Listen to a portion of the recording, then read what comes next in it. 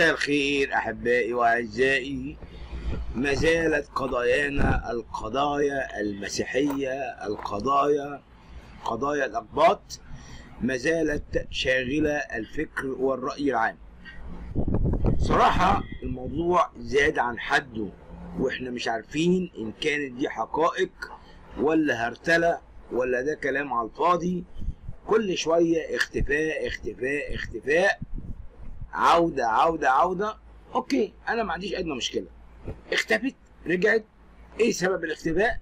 ورجعت إزاي؟ ورجعت إيه؟ آه كل الشكر للأمن إنها رجعت بس نعرف ليه اختفت ورجعت ليه.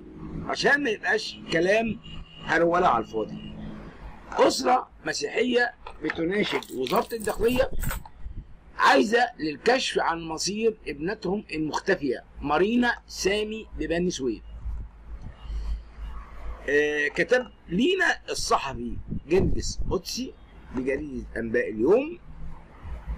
نشدت أسرة القبطية ببني سويف وزارة الداخلية التدخل لبذل الجهد عشان يكشفوا عن مصير ابنتهم المختفية مارينا سامي 19 سنة يعني ما زالت قاصر واختفت يوم الثلاث الماضي أول امبارح أثناء التوجه من منزلها بمركز سمسطا إلى مدينة بني سويف لحضور كورس تعليمي.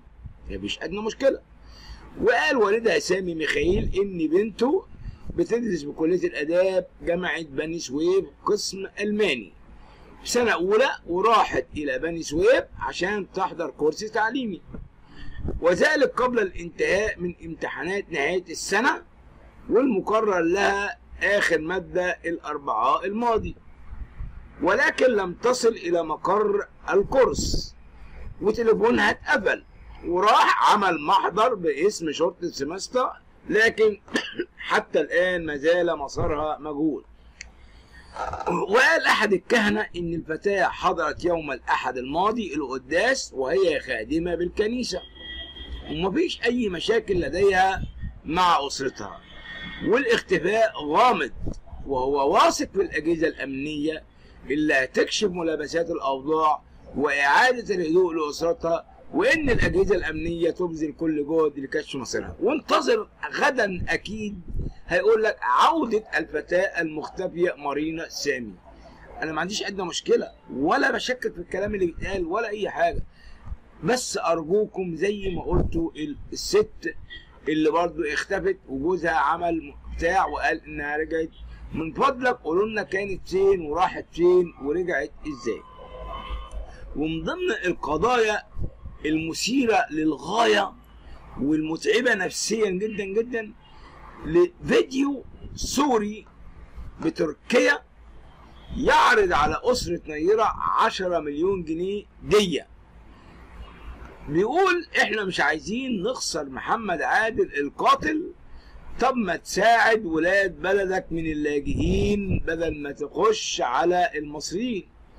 قتل النفس بسهولة دي ده حاجة يعني مكيدة إخوانية تحاكى ضد مصر الكبيرة.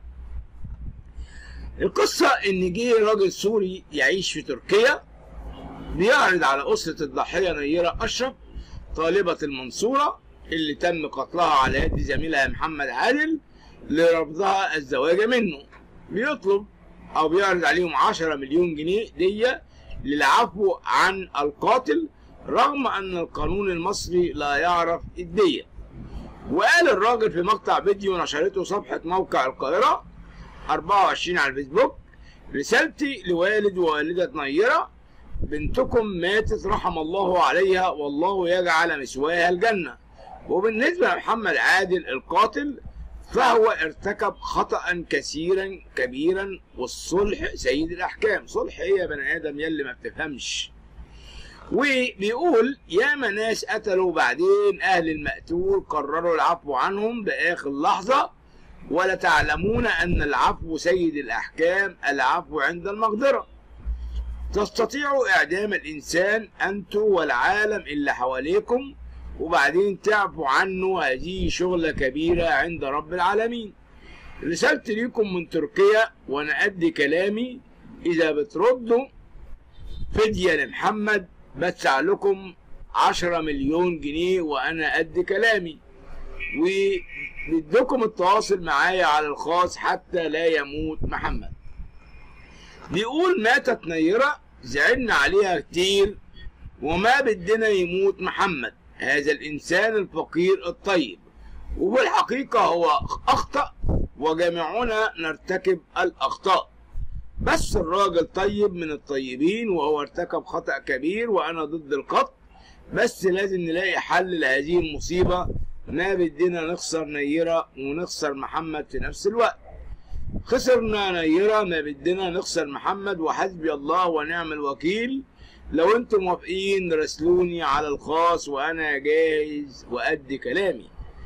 وأثار تصريح هذا المواطن السوري غضب الكثير من المصريين ومواطنين في الدول العربية وعلق حساب باسم سوسن فؤاد يا الفلوس كتير كده طب وزعوها على الغلابة بلاش على القتلة وبكده بكرة هنلاقي مليون نيرة ودمهم هيكون رخيص وقدامهم مليون متبرع ولا حول ولا قوة إلا بالله العلي العظيم. وأبدت غضبها من هذه التصريحات الكاتبة والشاعرة الفاضلة فاطمة نعود قائلة ولماذا لا ترسل هذه الملايين لفقراء بلدك سوريا الحبيبة من اللاجئين في بلاد كثيرة وفي مخيمات إيواء على حدود تركيا اللي بتعيش فيها حضرتك ومعاك كثير من الملايين. حضرتك سوري وتقيم في تركيا ومهموم بمشاكل مصر والمصريين وناسي وغافل عن مشاكل إخواتك السوريين.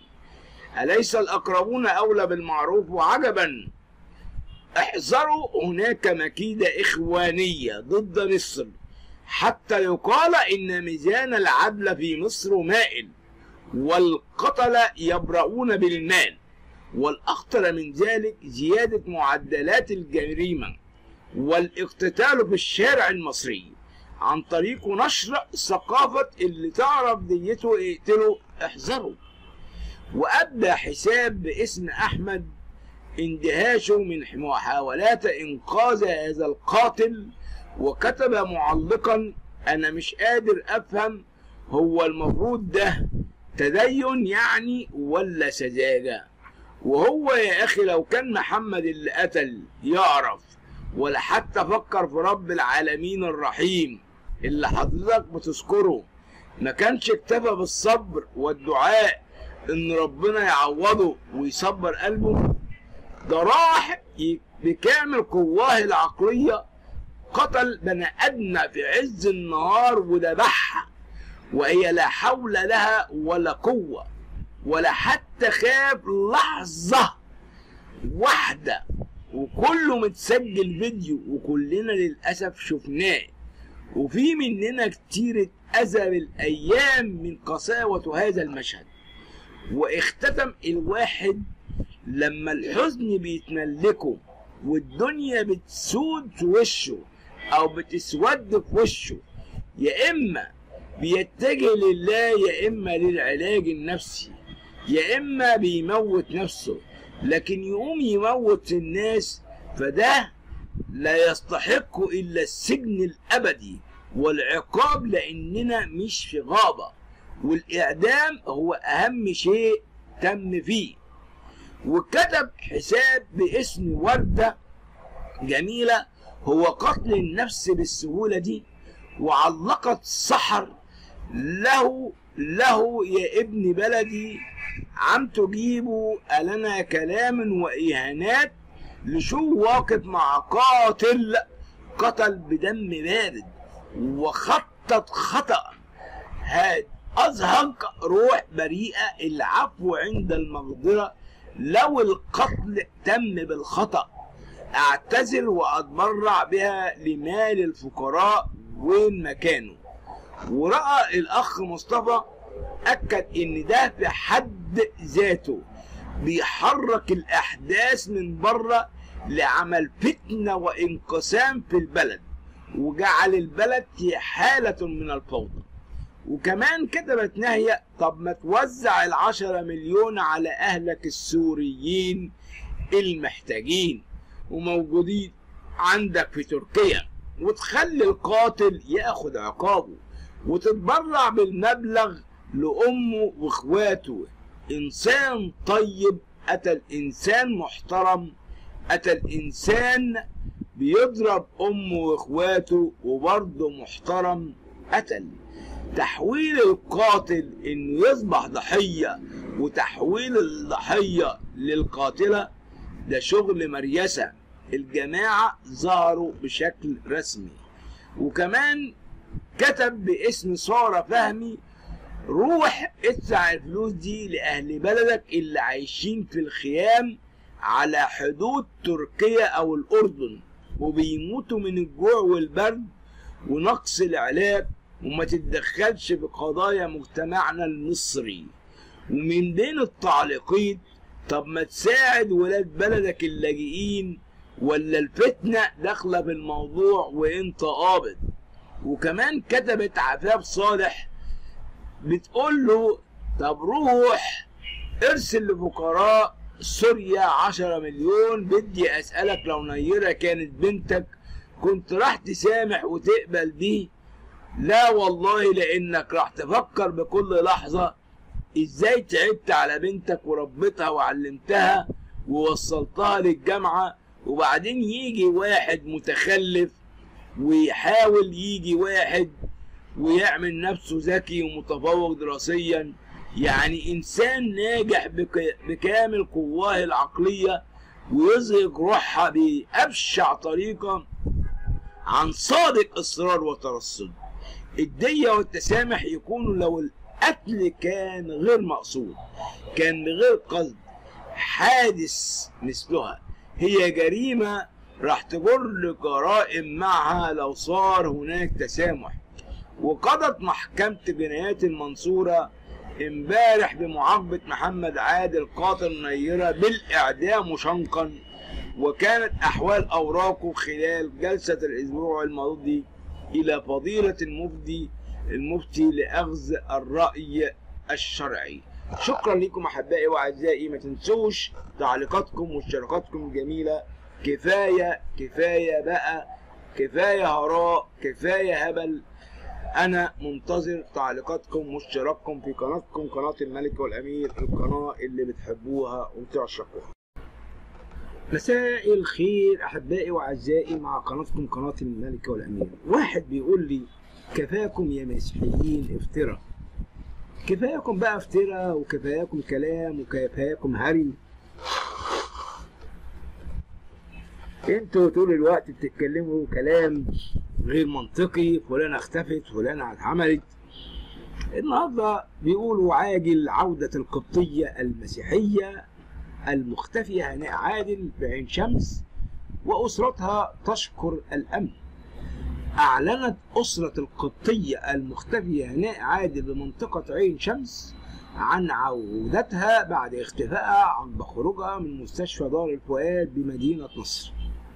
وتقدمت الأسرة بالشكر للرئيس عبد الفتاح السيسي وقداسة البابا تودروس الثاني والأجهزة الأمنية لجهودهم في إعادة هناء هناء عادل. كانت كاميرا الأقباط ذهبت لمنزلهم بعين شمس والتقت بأسرتها وزوجها الذي قال إن زوجته ذهبت لأحد المستشفيات بمدينة نصر لتقديم أوراق عمل وكانت على اتصال معه حتى استقلالها أحد السيارات للعودة للمنزل. ثم انقطع الاتصال ومنذ خمسة أيام. بيقول إنها كانت على اتصال بي لحد ما ركبت العربية مع أحد الأشخاص وهي راجعة البيت وانقطع الاتصال لمدة خمس أيام. وما نعرفش عنها أي حاجة. وراح عمل محضر باسم شرطة المطرية ولكن مفيش حتى الآن مازال مصيرها مجهول مش عارفين عنها أي حاجة. والزوج كان بيتكلم وهو حزين جدا في حالة حزن شديد عن الأسرة وأطفاله اللي بيعيشوا عايشين في بكاء وصراخ وبالذات البنت الصغيرة اللي عندها أربع سنين. ونفى وجود أي مشاكل عائلية وقال إن مفيش هناك لأي نية تانية لك وإلا كانت خدت كل مصوغاتها وفلوسها ومالها. ولكنها خرجت وقدمت بالفعل ورق العمل بالمستشفى عشان تختفي بظروف غامضة. طب أنتوا بتقولوا إنها رجعت. طب حضرتك رجعت فين؟ وكانت فين؟ وكانت مع مين؟ أرجوكم. أرجوكم قولوا الحقيقة مرة عشان الواحد تعب. تعال نبص خبر تاني. النائب العام يأمر بحبس اتنين اللي قاموا بقتل الشاب مينا أمير بالسنبلاويين بالدقاليه بتهمه القتل العمد مع سبق الإصرار والترصد كفاكم يا مسيحيين. كفايانا كذب ولا كفايانا معاطلات ولا كفايانا ظلم؟ امرت النيابة العامة بحبس اتنين احتياطيا أربع أيام على ذمة التحقيق لاتهامهم بقتل المجني عليه مينا أمير عمدا مع سبق الإصرار والترصد. والمقترن بجناية سرقة سيارته بالاكراه وذلك بعدما تمكنت تحريات الشرطة من تحديد هويته وهويتهم هم كمان وإقرارهم انهم اللي هم اللي عملوا ارتكاب الجميل الجريمة. وجه في بيان النيابة ورد بلاغ للنيابة العامة يوم الأربع الموافق 29 من شهر يونيو الماضي إنهم عثروا على جثمان المجني عليه وهو مينا أمير كان على وش أحد المجاري المائية بمركز درب نجم. وخرجوه بمعرفة الأهالي واللي كان والده أبلغ بتغيبه قبل ما يعثروا على جسم جسمه.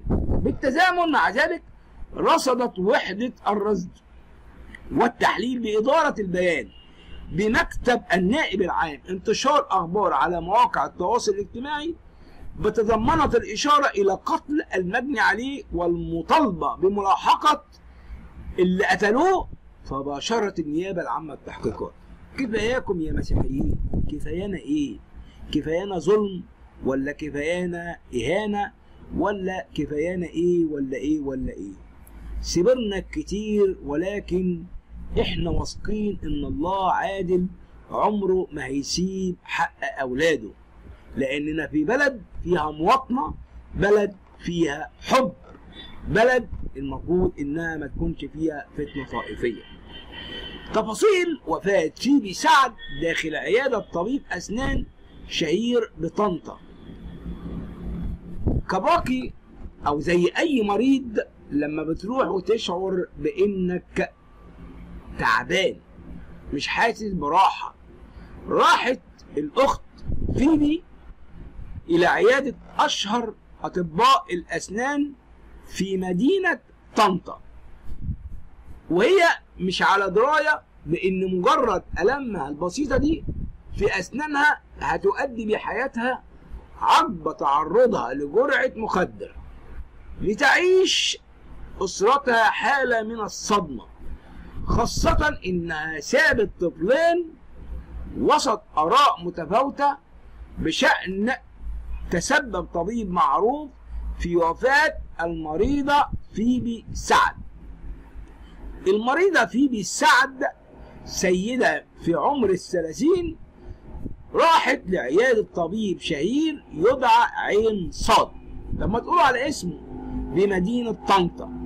وذلك بعد شعورها ببعض الآلام تاخد حقنة بنج ما يمرش عليها أكتر من خمس دقايق وحتى سقطت جثة هامدة داخل العيادة بحسب ما نشرته صفحات مدينة طنطا. على منصة التواصل الاجتماعي فيسبوك في مقطع فيديو على لسان أسرتها أثناء العزاء. وفي وقت انتشار قصة فيبي دشنت أسرة الراحلة وأصدقائها هاشتاج يحمل اسم حق فيبي لازم يرجع.